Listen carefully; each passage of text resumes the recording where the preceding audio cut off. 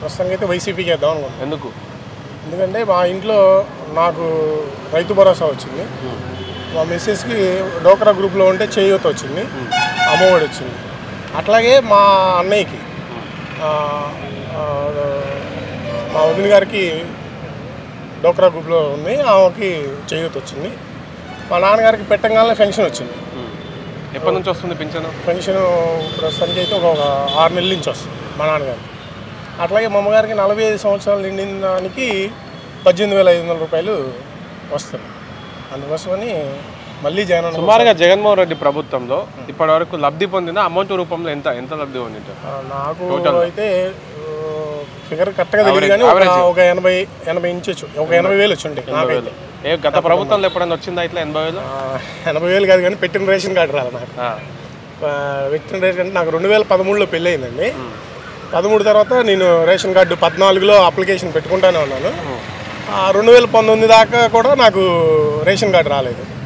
ఎప్పుడైతే ఈ వాలంటీర్ వ్యవస్థ వచ్చిందో వాళ్ళైతే డైరెక్ట్గా ఇంటికి వచ్చి మరీ అప్లికేషన్ తీసుకొని నాకు రేషన్ కార్డు ఇవ్వడం జరిగింది. ఒక నెల నెల లోపల రేషన్ కార్డు వచ్చింది అప్లికేషన్ పెట్టినప్పుడు. ఒక మూడు రోజుల క్రింద జగన్మోహన్ రెడ్డి గారు మేనిఫెస్టో రిలీజ్ చేశారు కదా. చూసారా మీరు? అంటే కొన్ని మ్యా అర్థమైనాయి కొన్ని అర్థం కాలేదు. ఓకే ఓవరాల్గా అర్థమైంది అర్థం కాని పక్కకు పెడితే ఎలా ఉంది అనిపించింది మేనిఫెస్టో బాగానే ఉంది. కానీ రిలేటివ్స్ కానీ చెప్తుంటారు కదా ఎలా ఉందని. మేనిఫెస్టో అయితే బాగుంది కానీ కానీ ఇంకా పబ్లిక్ ఏంటి ఇంకా ఎక్కువ ఇస్తాడేమో ఇది ఇట్లా ఏంటిది రైతు భరోసాగా రైతు రుణమాఫీ కానీ ఇట్లా అనుకున్నారు. కానీ సింపుల్గా ఉంది చేసే హామీలు ఇచ్చాడని అందరూ అనుకుంటున్నారు. అలివి కానీ హామీలు కాకుండా ఏ, భుజాన వేసుకొని పరిగెత్తకుండా మామూలుగా ఆయన చేసే వల్ల ఆయన వల్ల అయ్యే ఇచ్చాడని నేనైతే అనుకుంటున్నాను. జగన్మోహన్ రెడ్డి గెలుస్తాడంట? నా నమ్మకం అయితే కంపల్సరీ గెలుస్తాడు అనుకుంటున్నాను అనుకుంటున్నారు?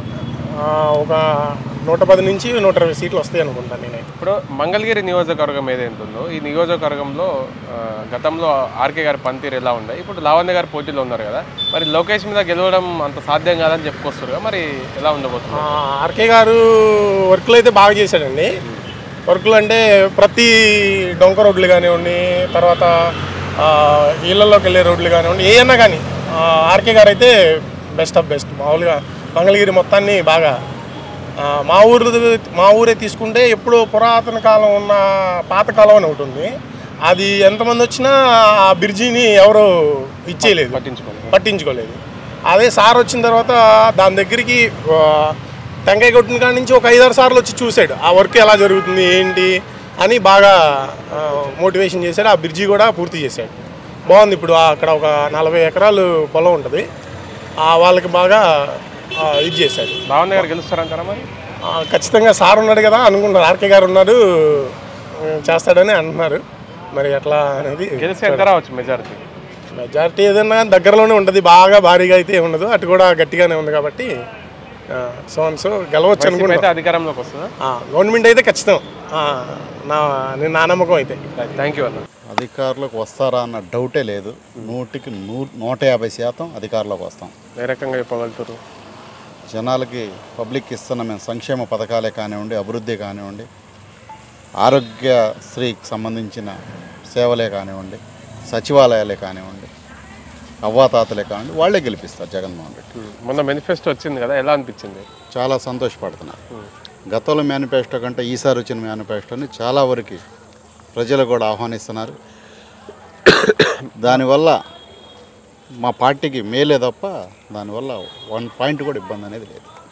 ఇక్కడ మంగళగిరి నియోజకవర్గంలో లోకేష్ పై లావణ్య గారు పోటీ చేస్తారు. చేస్తాం మరి గెలిచే అవకాశం ఉందంటారా? అది కూడా నూటికి నూరు శాతం గెలుస్తాం. ఎందుకంటే ఈ కాన్స్ ఈ కాన్సెన్సీ బీసీ కాన్సెన్సీ. లాస్ట్ టైమే లొకేషన్ ఓడిచ్చాం. ఈసారి పెద్ద ఓడియటం విజయం రెండు వందల కోట్లు సుమారుగా ఖర్చు పెడదామని రెడీ ఉన్నాడంట మరి. మూడు వందలు ఖర్చు పెట్టుకోమనండి మాకేమైంది? మా బీసీ లేడీ మా సామాజిక వర్గాలు ఉన్నాయి సార్. పద్మశాలి సామాజిక వర్గం ఎస్సీలు ఉన్నారు ముస్లిం మైనారిటీస్ ఉన్నారు. అలాగా వేరే వేరే యాదవ్స్ ఉన్నారు. చాలా కులాలు ఉన్నాయి బీసీ కులాలకు సంబంధించి. అవన్నీ జగనన్న గారికి అండగా ఉన్నారు. ఆ- జగనన్న గారికి ఆ కులాలే గెలిపిస్తారు. అంటే ఇప్పుడు ఈ లావణ్య గారు ఎవరికి తెలియదని కొంత చర్చనీయాంశం అవుతుంది. మరి ఎలా? తెలీదు అంటాకేం లేదు. వాళ్ళ ఇంట్లో కూడా రాజకీయ నేపథ్యం గల ఫ్యామిలీ వాళ్ళు. వాళ్ళ మామగారు ఉన్నారు. మురుడు హనుమంతరావు గారు రెండు సార్లు ఎమ్మెల్యే చేశారు. ఒకసారి మంత్రిగా కూడా చేసి ఉన్నారు వాళ్ళ మదర్ కాండ్రు కమలా గారు. ఆమె ఫై ఐదేళ్ళు ఎమ్మెల్యేగా చేసి ఉన్నారు గతంలో కూడా మున్సిపల్ చైర్మన్గా చేసి ఉన్నారు చాలు వాళ్ళకు తోడు మా ఎమ్మెల్యే ఆర్కే గారు ఉన్నాడు. మా అనుభవంతో పనే ఉంది. వీళ్ళు గైడ్ చేస్తారు. ఫ్యామిలీ మన రాజకీయ ఫ్యామిలీ కాబట్టి పెద్దగా అవసరం లేదు వాళ్ళు గెలిస్తే ఎంత మెజారిటీతో గెలవచ్చు గారు? సరే మెజారిటీ అంటే ప్రజలు ఎంత మెజారిటీతో గెలిపిస్తారని ఎదుటి గెలుపు అయితే తథ్యం. గెలుస్తాం. అది ఐదు వేల పదివేల పదిహేను వేల ప్రజలు ఎలా తీర్పిస్తారనేది అది ప్రజలు. జగన్మోహన్ రెడ్డి గారు ఎన్ని సీట్లతో అధికారంలోకి వస్తారు? నూట ఇరవై ఐదు సీట్లు కాడి నుంచి నూట డెబ్భై సీట్ల దాకా మీరు ఎన్నెల్లా లెక్కేసుకోండి.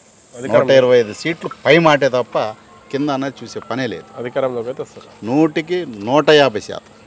థ్యాంక్ యూ అన్న. జగన్మోహన్ రెడ్డి గారు ప్రవేశపెట్టిన సంక్షేమ పథకాలు కానీ మన ఇక్కడ సా మన నియోజకవర్గంలో బీసీ అయిన పద్మశాలి మహిళకు సీట్ ఇవ్వటం మేము అంటే మా సామాజిక వర్గానికి ఇచ్చారు. అదిగాక మన జగన్మోహన్ రెడ్డి గారు ప్రవేశపెట్టిన పథకాలు మా అమ్మగారికి చెయ్యూత వచ్చినాయి.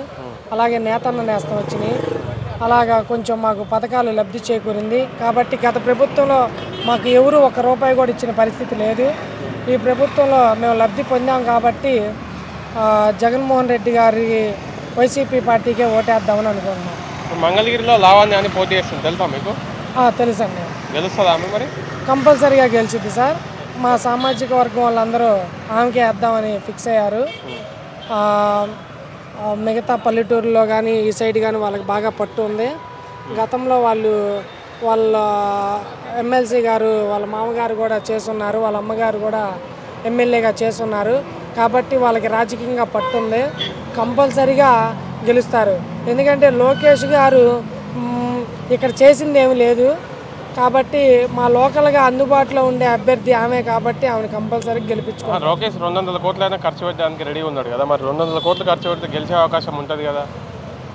రెండు వందల కోట్లు ఖర్చు పెడతాడంటే ఆయన డబ్బుతో ఎంతవరకు సక్సెస్ అవుతారనేది అది ప్రజలే రేపు నిర్ణయిస్తారు. ఎందుకంటే ఇక్కడ పద్మశాలి వర్గం ఈసారి గట్టిగా మన లావణ్య గారికి చేయాలని నిర్ణయించుకున్నారు. డబ్బు ప్రాధాన్యత ఉండిద్దని మేమైతే అనుకోవట్లేదు. ఎందుకంటే ఈరోజు డబ్బు చూపించే అధికారంలోకి రావాలనుకున్నోడు రేపు అదే డబ్బు దోచుకోవడానికి చూస్తాడని ప్రజలు గ్రహిస్తున్నారు. కనుక వాళ్ళైతే డబ్బు ప్రలోభానికి లోన్ అవ్వరని ప్రజలు మేము నమ్ముతున్నాం. ఎందుకంటే ప్రతి ఇంటికి జగన్మోహన్ రెడ్డి గారు ఆ పథకాల ద్వారా ఆ లబ్ధి చేకూరింది కాబట్టి ప్రజలు ఆయన చూపించే ఆ డబ్బుని నమ్ముతారని మేమైతే అనుకోవట్లేదు. Thank you